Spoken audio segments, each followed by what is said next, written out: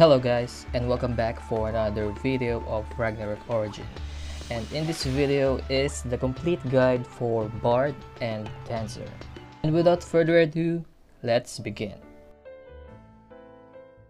One of the frequently asked questions is what is the primary stat of the Bard or a Dancer? Dexterity is their primary stat and please take note, in order to increase your healing, you need higher attack and in order to increase your attack, you need to increase your dexterity. As for equipment, my suggestion is to make coin. Okay wait, is this coiny or kobni? Google Translate, can you pronounce this word? Goibani. Goibani. Goibani. I still can't pronounce it. But as for free to play, this will be your best option. You just have to increase your max HP for higher survivability. And if you want a DPS role, what you're going to build is the Magic Flow set. And if you're going to ask me between Magic Flow and White Wing set, I'm going to choose Magic Flow because White Wing set will only increase the damage of the long range by 10% and that 10% you can get that if you're going to use Food Bomb. As for accessories, my suggestion is either gloves or Vit necklace. And then later on, you can change to level 105 accessories, which is this one. And if you're a DPS type, you can choose this set.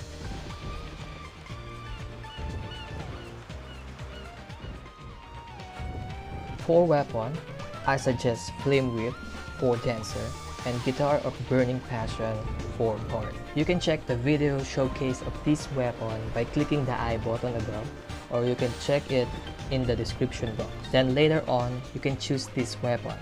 This weapon will increase your physical damage reduction by X percent and will also increase your healing by 20%. For skill build, here's what I can suggest.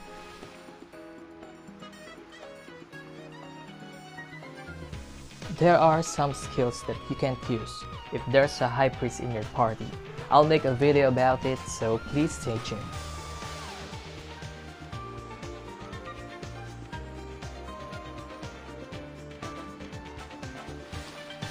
Encore is the most important passive skill for Bard or a dancer. Encore passive skill will prolong your solo dance skill and this skill will make you look like you're using multiple skill in just one cast.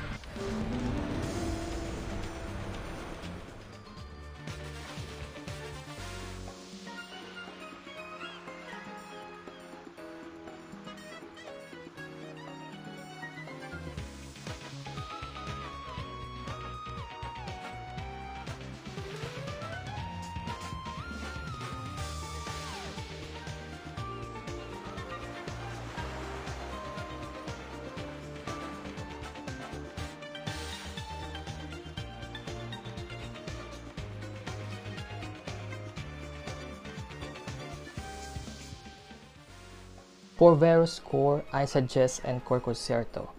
It will increase the duration of your Encore passive effect. And with the help of Encore Concerto, especially if you're using level 7 Encore Concerto, it will add another 7 seconds so the Encore Concerto passive effect will last up to 17 seconds, which is really really good. Another core that I can suggest is the Dull Heart. So if you're going to use Marionette control skill, it will remove the stat penalty. And by using this score, the stat bonus can increase up to 70%, especially if you're using the level 7 Y core. Imagine this, plus 17 bonus stats to all your allies. That's crazy. For mount, what you're going to choose is the Bravery. And you can also choose Love to increase your max HP, and then Active to increase the physical damage of your attack skills. Alright, so that's all for now. If you want more video about Dancer and Bard, I already made a video about them.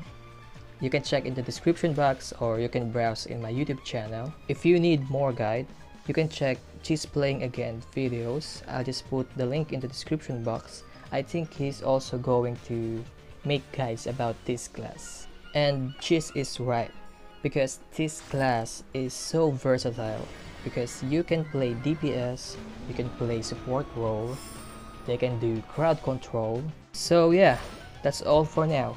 Please stay tuned and I'll see you in the next video.